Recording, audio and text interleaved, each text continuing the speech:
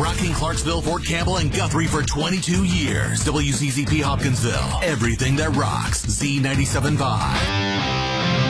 A five-star media group station. The Noon Salute, a rocking rendition of the national anthem, powered by Clarksville Guns and Archery.